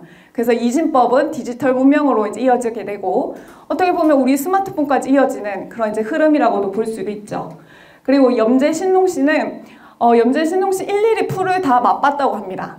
그렇게 해서 어, 이 풀을 맛보니까 위에 좋네. 그리고 이 풀을 맛보니까 소화가 잘 되네. 뭐 장에 좋네. 이런 식으로 이제 계속 맛보시다가 어떻게 보면 자기 몸을 생체 실험을 하신 건데 어, 어떤 날은 뭐 하루에 70번 중독이 된 적도 있었다고 합니다. 그래서 그렇게 이제 어, 혈성으로 하셨는데 그래서 한의학의 시조로 알려져 있습니다. 한의학의 시조 염제신농 씨. 그래서 여러분들 서울에 계시니까 서울의 선농단 아시죠? 모르세요? 아, 아시죠? 선농단에 바로 연제 신농씨를 제를 지냅니다. 왜냐하면 농사의 신으로 그리고 한의학의 시조로서 그분을 받들고 지금까지도 제를 지내요. 그래서 선농단에 가보시면 옆에 기념관을 세워놨거든요. 거기에도 연제 신농씨에 관한 자세한 설명이 있습니다. 어, 그리고 치유천왕은 실제 배달국을 통치하셨던 14번째 환웅이세요. 그래서 자오지 환웅이라고 하는데 치유 천왕은 우리에게 누구로 더 익숙하게 알려져 있냐면 여러분들 2002년도에 응원하셨나요? 아 내가 얘기를 하고 나서 아 질문을 하고 나서 아차 싶었어요. 저는 2002년도에 열심히 응원을 했는데요. 붉은 악마의 마스코트가 뭔지 알고 계시나요? Red Devil 아세요? 어, 붉은 악마의 마스코트가 바로 치우천왕입니다. 도깨비 문양. 그래서 코리아라고 해가지고 우리가 그때 2002년도에 전부 다 치우천왕을 들고 흔들었어요. 뭔지도 모르고. 아, 그냥 좋다고. 근데 실제 이제 치우천왕을 형상화한 모습이고 왜 도깨비로 형상을 했냐면 중국이 너무나도 두려워서. 중국은 중, 지금 밑에 이렇게 꿇고 있는 사람이 있죠. 이 사람이 누구냐면 중국의 황제 헌원입니다. 황제 헌원이 치우천왕이랑 10년간 전쟁을 했다고 알려져 있고 73번 싸웠다고 알려져 있는데 73전 73승을 하셨어요. 아 너무 힘들어 말하는 게. 자 이순신보다 더 대단한 분이시죠 사실은. 고대에 그래서 전쟁의 신으로 알려져 있고 병법의 왕으로 알려져 있기 때문에 어, 실제로 중국의 고대 왕들 요임금이라든지 진시황이라든지 어, 전쟁에 나가기 전에 황제 헌원에게 제를 지냈던 것이 아니라 치우천왕에게 제를 지내고는 전쟁에 나갔다고 합니다. 실제로 황제 헌원이 이겼다면은 자기네들 왕에게 황, 어, 황제 헌원에게 제를 지냈겠죠. 그래서 여러분들 이 문화 영웅 배달국의 3대 문화 영웅을 꼭 기억을 해주시고요. 그런데 중국은 이 3대 문화 영웅을 어떻게 왜곡을 시켰냐면 테오부키는 인두사신 어, 몸은 뱀인데 사람만 아, 얼굴만 사람이다. 이런 식으로 이제 왜곡을 시킵니다. 그리고는 어 그리고 염제 신농은 우두 인신. 그러니까 머리를 소로 표현을 해요. 그러니까 농사의 신이고 뭐 어, 한의학의 시조기 때문에 그런지 몰라도 그래서 우리나라의 한의원 같은 데 가보면 종종 소머리가 걸린 곳이 있습니다. 그래서 그, 그런 저, 중국 역사 왜곡이 영향을 준 면도 있어요. 그리고 치우천왕은 괴물 악마. 그냥 불 뿜고 막 손 한 여덟 개 대고 모래 먹고 아, 막 이런 이제 그냥 완전 괴물, 도깨비 이런 식으로 다 표현을 합니다. 그런데 지금 와서는 어떻게 하냐면 중국은 중화, 중화 3조당이라고 해서 황제 헌원뿐만이 아니라 염제, 신농, 치우천왕을 전부 다 자기네 조상으로 끌어들입니다. 그래서 요즘에는 이렇게 역사 왜곡을 하는 게 아니고 자기네 조상으로 모셔놨어요. 어, 탕록에, 탕록에 가보시면. 그래서 탕록은 실제 치우천왕이 황제 헌원과 싸웠던 곳이거든요.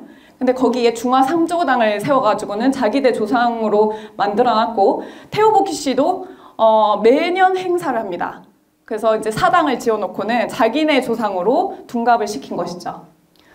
자 그렇다면은 이 중국이 참 왜 이렇게 갑자기 우리나라의 그 조상들을 다 흡수를 하게 됐냐면 이러한 이제 연유가 있습니다. 이분은 그래도 주울레 총리라고 굉장히 양심적인 분이었죠.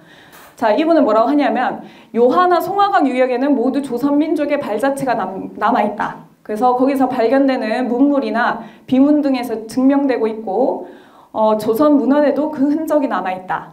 그래서 고대부터 조선이 중국의 속국이었다고 말하는 것은 황당한 거짓말이다. 이런 이제 양심적인 발언을 하시는 분도 있습니다. 그래서 이분이 말씀하시는 요하 유역이 도대체 어떤 문명이 발견이 되냐라는 것을 살펴보면 자, 여기 한반도가 있고 요동반도 위쪽 요하 지역에는 어, 굉장히 오래 전부터 그러니까 거의 뭐 8천년으로 거슬러 올라가는 그런 이제 고대 문명이 발굴되게 됩니다. 그래서 이쪽을 요하 지역이라고도 해서 요하 문명이라고도 하고요. 그리고 여기에는 붉은 산이 많아요. 빨간 산들이 많아서 홍산 문명이라고도 합니다. 그런데 이러한 홍산 문명의 발견은 21세기 최대의 발굴 사건으로 손꼽힙니다. 왜냐하면은 어, 세계 문화의 뿌리를 우리가 이제 4대 문명으로 알고 있죠. 4대 문명은 뭐 뭐예요? 그렇죠. 수메르 문명 그리고 황하 그렇죠. 어, 메소포타미아 문명 그리고 수메르 문명 그리고 황하 그리고 또 인더스 그리고 그렇죠. 이집트 문명 4대 문명이 세계 문화의 뿌리라고 알고 있는데 사실 4대 문명을 더 거슬러 올라가는 4대 문명보다 더 앞서는 제5의 문명이 발굴이 된 것입니다. 그래서 전 세계는 굉장한 충격에 빠졌고 어 뭐 프랑스 같은 경우에는 revolution이라고 그 프랑스어로 일면에 기사를 내기도 했었어요. 자, 이런 이제 그 요하 문명은 사실은 뭐 배달뿐만이 아니라 단군 조선과도 연관이 있지만 단군의 아, 배달국의 주요 문화라고 이제 생각을 하시면 쉽습니다. 자, 이런 이제 어, 요하 문명에서는 1984년에 아주 충격적인 여신상이 발견되게 됩니다. 이 여신상이 바로 4대 문명을 모두 앞서는 그런 이제 어, 여신상이었는데 어, 그 기술적인 측면에서도 매우 놀라운 면을 보여주고 있어요. 왜냐하면은 여신상을 보시면은 눈을 옥으로 갈아서 넣었습니다. 그리고 옥으로 갈아서 넣었고 실제 여신상의 모습을 보시면 저게 반가부자라는 것인데 굉장히 특이한 모습이죠. 왜냐하면은 서양의 그런 여신상 같은 모습을 보면은 굉장히 관능적인 몸매의 아름다움을 이제 표출한다고 본다면 동양의 이 여신상은 굉장히 속을 꿰뚫어 보는 듯한 아주 어머 내면을 이제 뚫어보는 듯한 아주 고차원적인 아름다움을 보여주고 있습니다. 그래서 이것은 뭐 수행하는 자세다. 아, 내면을 갈고 닦았던 사람들이다. 이런 식으로도 알려져 있는데요. 어, 이러한 여신상이 이제 출토된 것은 이런 여신묘에서 출토가 됐고요. 그리고 여신묘뿐만이 아니라 총묘단이라고 해서 무덤, 그리고 신전, 그리고 재단까지 이 세 가지 요소가 모두 출토된 것은 홍산 문화가 유일합니다. 그래서 이런 이제 거대 유적이 이제 출토가 되면서 재단 같은 것들 그리고 무덤을 이렇게 복원시켜 왔는데 재단의 모습은 원형을 띠고 있고 그리고 이제 무덤 같은 경우에는 방형이라고 해서 네모진 모습을 가지고 있었는데 문화를 해석을 할 때는 숫자나 그리고 모형으로 많이 해석을 합니다. 그래서 이 모형을 왜 썼을까? 이런 것들을 이제 파악을 해볼 때는 아, 고대 사람들이 하늘의 그리고 땅의 모습을 인식하고 있었다. 그래서 하늘과 땅의 모습을 형상을 해서 하늘은 둥글고 원만하고 땅은 뭐 반듯하다. 이런 것들을 이제 인식하고 적용을 했다라고 이제 알려져 있습니다. 그런데 놀랍게도 북경의 천당공원 가보시면은 홍산 문화의 재단과 똑같은 재단이 이제 어, 건립이 돼 있죠. 그것은 이제 문화의 전수 경로를 우리가 충분히 예상을 해볼 수가 있고요. 그리고 전 세계적으로 이런 이제 재단이 굉장히 많습니다. 그렇다는 것은 이제 제를 지낸 문화가 아주 이제 전 세계적으로 공통적이었다는 것을 알 수 있고 그리고 우리가 알고 있는 피라미드는 이렇게 뾰족한 모습으로만 알고 계시지만 사실은 초기 피라미드는 끝이 평평합니다. 왜냐하면 초기에는 재단으로 쓰였기 때문에 그래서 재단으로 쓰이다가 나중에 무덤으로 용도가 변경되면서 이렇게 이제 뾰족한 모습을 보이기도 합니다.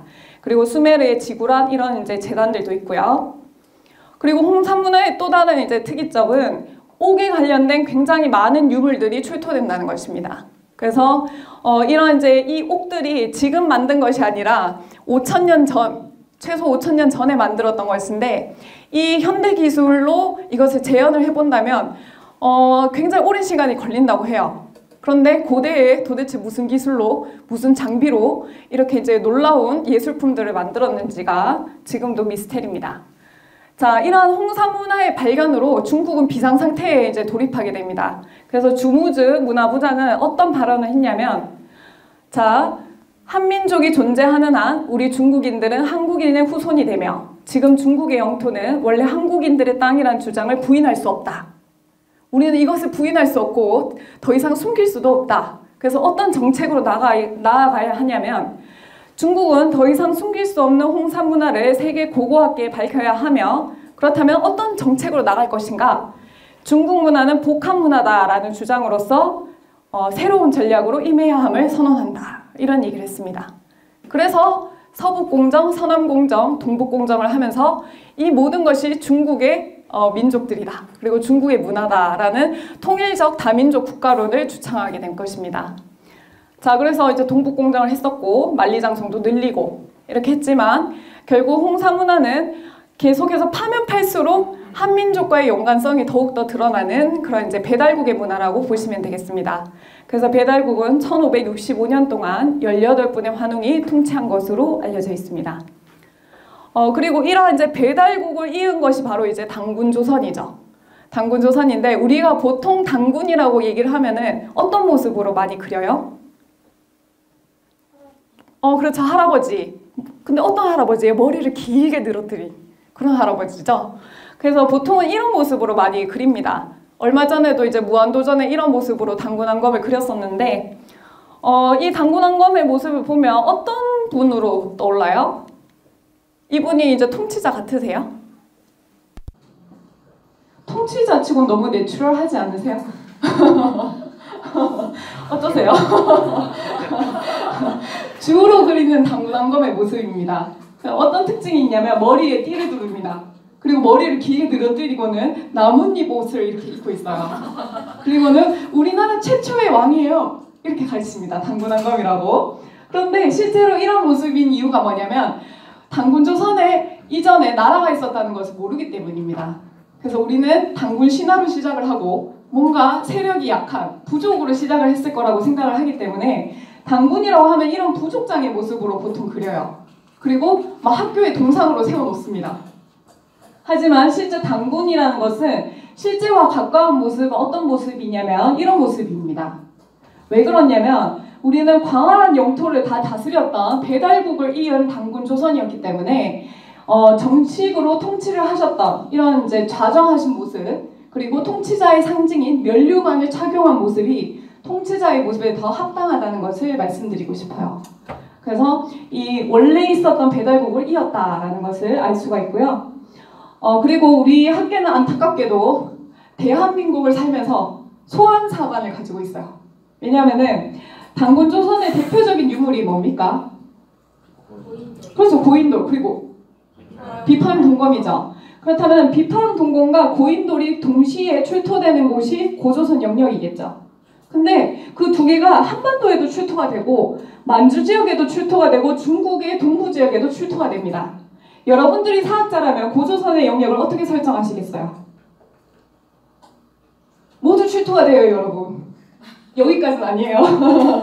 자, 여기까지 다 출토가 된다면, 아, 고조선의 영역이 이렇게 넓었구나, 라는 것을 알 수가 있겠죠. 하지만 학계에서는 이상한 말을 만들어냅니다. 아, 이것은 공통적으로 출토가 되지만 이것은 문화 범위일 뿐이다. 문화 범위고, 요 노란색 보이시죠? 평양에서 여기까지. 여기까지가 고조선이다. 어, 나 이해가 안 돼. 너무 어려워. 그러니까 고조선은 여기 여기부터 여기까지고 나머지는 문화 범위라는 거예요. 문화. 문화를 영유했던 문화 범위.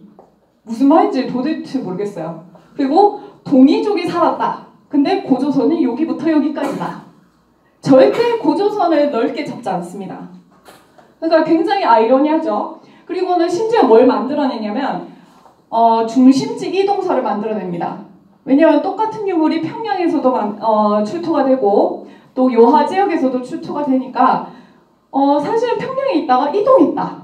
중심지를 첨도를 했다. 이런 식으로 이제 새로운 학설을 만들어내게 되는 겁니다. 하지만 당군 조선을 배달국을 그대로 이었기 때문에 한반도 그리고 만주 지역 그리고 지금의 중국의 동부 지역까지 통치를 했었고 어, 이, 도, 이 당군 조선으로부터 여러 가지 북방 민족도 나가게 됩니다. 그래서 굉장히 큰 대제국이었다라는 것을 말씀을 드리고요. 자, 그래서 만주 지역에는 근데 이제 상고, 어, 당군 조선이 배달국과 다른 것은 뭐냐면 똑같은 영역을 셋으로 나눠서 다스렸다는 겁니다. 당군 조선은 만주 지역은 진안, 그리고 한반도는 마한, 그리고 지금의 중국의 동부 지역은 번안으로 해서 사만으로 나눠서 다스렸습니다. 사만으로 나눠서, 나눠서 다스렸고 이 사만 중에서도 중심이 되는 곳은 어디였냐면 진안 땅이었어요. 그래서 만주 지역이 진안 땅이 중심이었고 그렇기 때문에 중심지에 대당군이 계셨습니다. 대당군이 계셨고 나머지 마한과 번안에는 부당군이 계셨습니다. 이 사만으로 나눠서 다스렸기 때문에 대당군에게 그 정치 그 주권이 있었어요. 그래서 정치를 하는 데는 대당군의 대당군의 그런 허락을 모두 받아야 됐습니다. 그리고 번안 쪽은 아무래도 중원과 경계를 맞대고 있었기 때문에 군사력이 좀 강했어요. 어, 군사적으로 되게 활발했고 그리고 마하는 진안에서도 막아주고 번안에서도 막아주기 때문에 거의 문화가 아주 평화롭게 꼽히는 곳이었습니다. 그래서 여러분들 놀랍게도 고인돌이 가장 많은 지역이 바로 마안입니다. 그래서 고창, 전라도 이쪽에 문화가 굉장히 많아요. 고인돌이. 그러니까 마한이 문화 평화롭게 살기 좋은 곳이었어요, 사실은. 그래서 우리는 사실 어 근데 학교에서는 사만이라고 하면 뭐만 배우세요?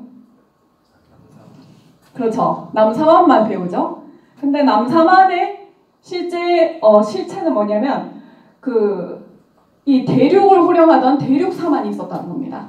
그래서 북사만이 원래 있었고 남사만이 후에 이제 들어서게 됐는데 어, 우리가 알고 있는 위만조선이라는 것도 사실 위만이 이 기준을 통치, 아, 번안을 통치하던 기준왕을 뭐라는 거예요. 그러니까 위만조선이라고 하면 안 맞죠. 왜냐하면 중간인 진안이 살아있으니까. 그래서 위만 정권이라고 하는 것이 옳습니다. 자, 그리고 어, 삼국유사, 1년의 삼국유사를 보시면 아까 뭐라고 했어요? 당군이 1908세를 살다가 신선으로 올라갔다. 이런 말씀을 드렸는데 한 사람의 수명으로 보기에는 굉장히 어렵죠.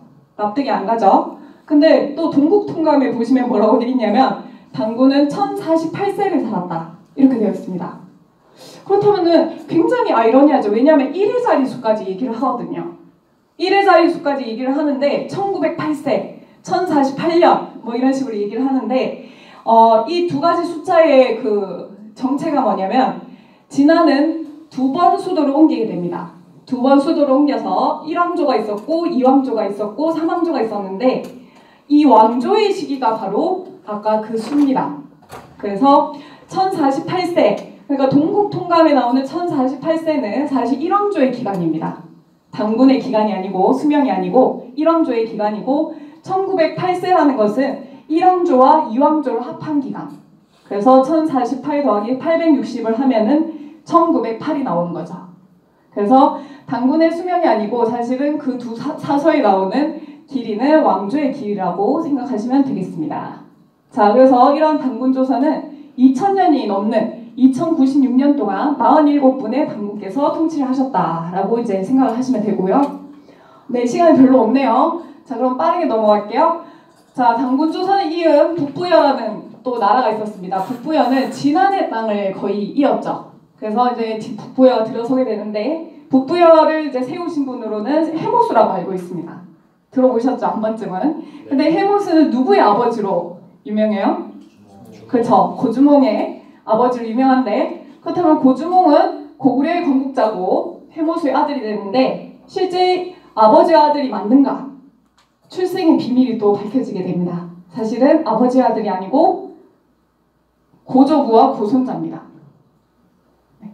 그러면 고손자와 고, 고조부와 고손자라면은 거의 텀이 얼마만큼 나냐면 한 200년 텀이 나요. 그렇죠? 아버지 위에 할아버지, 증조 할아버지, 고조 할아버지. 200년 텀이 나는데 왜 아버지와 아들이 셋냐? 그것을 이제 보여드릴 건데 이거는 광개토 태양비입니다. 광개토 태양 비문에 그 이제 어, 비밀이 남겨 있는데 뭐라고 돼 있냐면 광개토 태양비에는 출자 북부여 고구려는 북부여에서 나왔다 이렇게 되어 있어요. 그리고 실제로 이제 광개토 태양비 보시면은 출자 북부여라고 이렇게 뜹니다. 어, 보이시죠? 북부여. 고구려는 북부여에서 나왔다. 그러면 고구려는 북부여를 이었다는 얘기죠. 그리고 17세 손이다. 누가? 광개토 태양이. 그러니까 광개토 태양 비문이잖아요. 그래서 광개토 태양이 17세 손이라는 거예요. 그렇다면은 태조로부터 17세 손인데 어 그렇다면은 광개토 태양은 고구려 왕이니까 태조가 누구겠어요? 어 고주몽이겠죠. 고주몽으로부터 17세가 돼야 되죠. 그렇다면 우리나라 교과서에서 한번 확인을 해보도록 하겠습니다. 자, 고주몽이에요. 고주몽으로부터 1대, 2대, 3대, 4대, 5대, 6, 7, 8, 9, 10, 11, 12, 13. 오, 이상하죠? 분명 강개토 태양은 태조로부터 17세 손이라고 했는데 어, 고주몽으로 잡으면 13세가 됩니다. 그렇다면 앞에 4개가 빠졌다는 거예요. 자, 이것은 무엇을 뜻하냐? 고주몽의 아버지, 할아버지, 증조할아버지, 고조할아버지. 그러니까 강개토 태양도 사실은 해모수로부터 해모수를 태조로 잡고 17세 손이다. 이렇게 이제 나와 있는 겁니다. 자, 그리고 어, 재밌는 것은 신당서에 뭐라고 돼 있냐면 고구려는 900년이 못 되어 망할 것입니다. 그래서 지금 이제 900년이 됐으니 당나라 이적이 가서 이제 고구려를 멸망하게 될 것입니다. 이렇게 되어 있는데 자, 교과서에 보면은 고구려는 이 두 시기를 합해 보면 700년이에요. 근데 900년이 됐다고 말을 했거든요. 그건 뭐냐면 앞에 북부여를 포함해서 900년으로 얘기를 한 것입니다. 그러니까 구, 북부여가 거의 한 200년이거든요. 그러니까 고구려의 역사는 북부여에서 나왔고 북부여가 바로 이제 고구려의 역사다라는 것을 많은 이제 자료에서 얘기를 하고 있는 것입니다.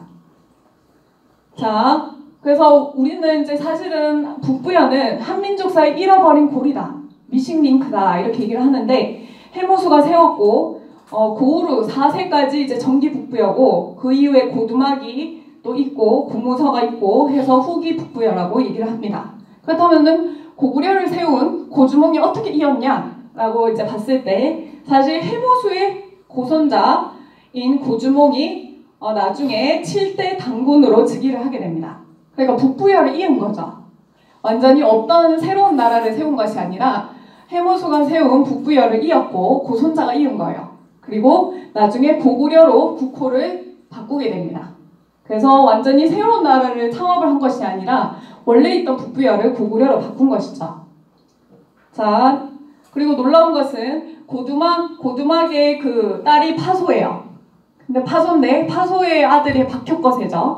그 박혁거세가 남, 남쪽으로 가서 또 신라를 세우게 되고 그리고 북부의 6대 장군의 딸이 소선호인데 소선호가 또 고구려의 누구랑 결혼을 해요? 고주몽과 결혼을 하죠. 그래서 백제의 시조인 비류온절을 낳게 됩니다. 그러니까 놀라운 것은 뭐냐면 북부여라는 것은 고구려 백제 신라가 태동되는 모체가 된다는 거예요. 그래서 우리가 그냥 뭐 오이마리 협부 몰려다니다가 그냥 갑자기 주몽이 나라를 세운 것처럼 이상한 그런 이제 나라 전개 방식이 펼쳐지잖아요. 갑자기 막 등장해. 갑자기 뭐 알에서 태어난 활 잘 쏘는 불세출의 영웅이 등장을 해서 나라를 세운 것처럼 얘기를 하지만 사실 이런 북부여라는 나라가 있었고 북부여가 바로 삼국의 모체가 된다는 겁니다. 그래서 삼국을 제대로 이해를 하려면 북부여를 알고 계셔야 된다는 거예요. 자, 그래서 이런 북부여가 없어짐으로 해서 미식링크가 됨으로 해서 황국배대 조선도 허공으로 사라져 버리고 우리는 이상한 흐름의 그런 사국 시대를 맞이하게 된 것입니다. 자, 그래서 여러분들은 지금까지는 역사를 잃어간 2000년의 패망의 역사를 지금껏 배워오셨습니다. 하지만은 어, 실제로는 더 많은 역사와 문화를 담은 그런 7000년의 뿌리 역사가 있었다는 것이죠. 근데 우리는 사실 조선 때 한번 나라가 망했었어요. 왜냐면은 나라가 실제 뿌리의 역사를 모두 잃어버리고 그리고 사대주의에 빠져서 우리의 역사의 혼을 모두 이제 말살을 했기 때문에 정신사를 다 잃어버렸기 때문에 어, 그 육체인 나라는 당연히 망할 수밖에 없었던 것입니다. 하지만 어, 잃어버린 7천년 역사가 있었고 그것이 다시 밝아오고 있다. 그리고 대한민국에서 다시 그 힘이 저력이 발휘되고 있다라고 이제 말씀을 드리고 싶어요. 어, 짐 데이토라는 미래학의 대부는 뭐라고 했냐면 잘생겼죠? 남자입니다. 자꾸 여자냐고 물어봐서. 자, 짐 데이토는 뭐라고 했냐면 정보화 사회 다음에는 dream society라는 해일이 몰려온다. 그러니까 우리가 꿈꾸던 시대가 그대로 펼쳐진다 이런 얘기를 했는데 놀랍게도 한국은 dream society에 진입한 제1호 국가다 이런 얘기를 했습니다. 이미 한국은 진입을 했다. 근데 그 진입의 전초로 뭐가 있냐면은 한류 문화가 있습니다. The Korea wave. The Korea wave가 여러분들이 짐작하는 것보다 훨씬 이상 크게 세상을 휘젓고 있어요. 그래서 외국인들이 요즘에는 더 한국 드라마, 한국 역사 문화에 관심이 많습니다. 그래서 요즘 여러분들 외국 나가실 때 긴장을 하셔야 돼요. 한국 역사를 너무 많이 물어보거든요. 한국 문화의 진짜 핵심이 뭐냐? 어, 한국은 어떻게 역사가 시작했냐? 그런데 막 곰호랑이가 이러면 안 되겠죠. 나도 자신이 없어지고. 근데 실제 우리의 어, 그 저력이 있었기 때문에 다시금 그 저력이 되살아나는 겁니다. 역사라는 것은 주기적으로 반복을 해요. 그래서 그 사이클을 아셔야 되고 그 영, 영상 한번 볼게요.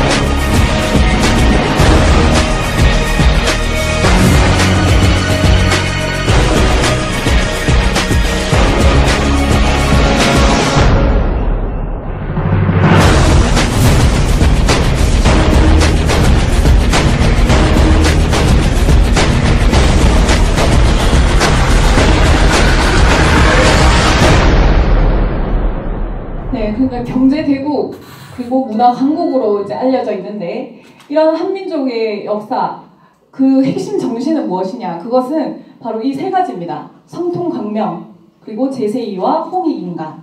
이것을 한민족은 고대로부터 이 정신을 이제 유지해왔고 이것을 펼쳤다는 거죠.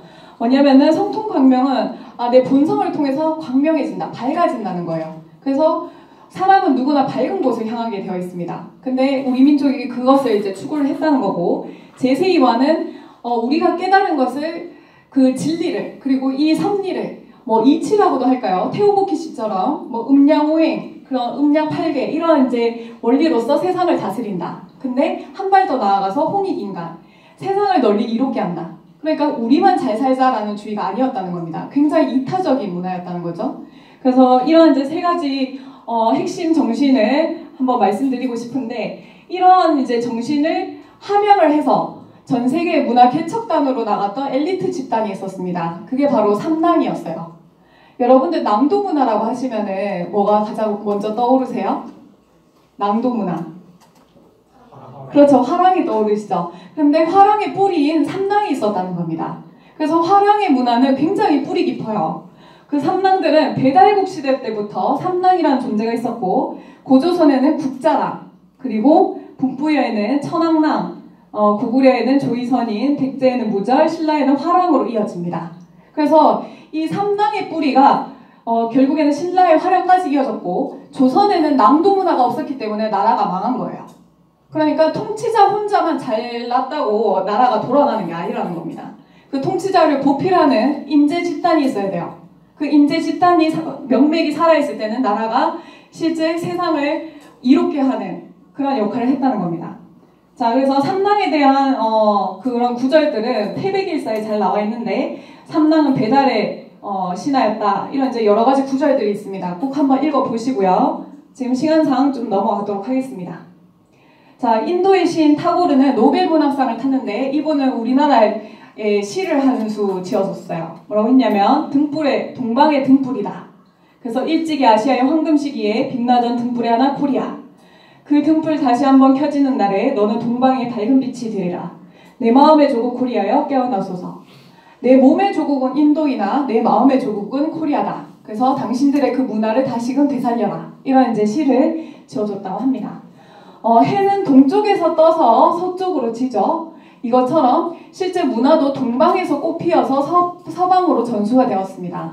그래서 지금은 서양의 물질 문명 시대를 지나온 거예요. 하지만 이 해가 계속 서쪽에 가만히 있지 않죠. 이 해는 다시 동쪽으로 뜨게 되어 있습니다. 그래서 지금은 모든 것들이 동아시아로 몰리고 있습니다. 군대도 집결하고 있고 돈도 몰리고 있고 그리고 문화도 한류 문화에 집중을 하고 있는 것입니다. 어, 그래서 여러분들이 지금 이 시기가 정말 대한민국이 정말 중요한 역할을 하는 그리고 뿌리의 저력을 되살리는 때다라는 것을 절감을 하셨으면 좋겠고요. 어, 세계적인 역사학자 토인비도 태평양 시대 21세기는 극동에서 세계를 주도할 사상이 나올 것이다 이런 얘기를 했습니다. 극동은 일본은 극동이 아닙니다. 왜냐하면 섬이기 때문에 극동은 우리나라를 뜻하는 겁니다. 그리고 게으르그 신부는 노벨상을 역시나 탔죠. 뭐라고 했냐면 홍익인간이란 당군의 통치 이념은 지구상에서 가장 강력한 법률이며 완전하다. 태극기는 세계의 상징이 될 것이고 한국군은 세계 평화의 십자군이 될 것이다. 이런 이제 석학들의 말들도 있습니다. 그만큼 우리가 오히려 태양의 눈에 있어서 우리의 소중함을 모르고 우리의 것을 너무 경시하는 것이 아닌가 이런 생각을 해보게 되고요. 자, 우리나라는 하지만 여전히 분단 국가입니다.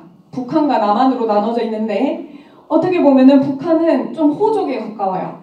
막 사납고 싸우기 좋아하고 인내심이 없습니다. 그래서 약간 호족과 비슷한데 우리나라는 좀 웅족과 비슷해요. 뭔가 미련한데 한 번 마음 먹으면 세계인을 놀라게 하는 저력을 가지고 있습니다. 그래서 한국인들 정말 미련하게 미치도록 죽도록 일을 하는데 뭔가 대단해. 세계를 놀라게 하는 그런 저력이 있는데요. 어, 좀 약간 웅족과 가까워요. 그래서 9천년의 한민족의 그런 역사 문화를 다시금 터트릴, 다시금 세계를 놀라게 할 그런 저력은 남한에 있지 않나 이런 얘기를 해봅니다. 자, 그래서 단재 신채호 선생님 말씀으로 시작을 했는데 단재 신채호 선생님 말씀으로 마무리를 짓겠습니다. 우리나라에 부처가 들어오면 한국의 부처가 되지 못하고 부처의 한국이 된다. 우리나라에 공자가 들어오면 한국을 위한 공자가 되지 못하고 공자를 위한 한국이 된다. 우리나라에 기독교가 들어오면 한국을 위한 예수가 아니고 예수를 위한 한국이 되니 이것이 어쩐 일이냐. 이것도 정신이라면 정신인데 이것이야말로 노예 정신이다. 이런 말씀하셨습니다. 자, 그래서 우리 것을 잃고 무작정 다른 것을 이제 쫓아가는 것이 과연 좋은 것인가? 어, 그런 생각을 해보게 되고요. 우리에게는 이제 삼당의 문화가 굉장히 명맥을 잘 이었을 때 나라가 번창을 하고 실제 세상을 밝히는 등불의 역할을 했습니다. 그래서 대한민국에 살아가는 대한국인이라면 대한의 뜻은 알고 있어야 되겠죠. 어, 대한의 뜻은 아마 다음 시간에 짚어주실 겁니다. 어, 큰 광명, 진짜 밝은 사람이라는 뜻인데요. 진짜 삼당의 후예로서 어, 진정한 큰 밝은 사람인 대한국인이 되시기를 바라면서 이상으로 마치겠습니다. 감사합니다.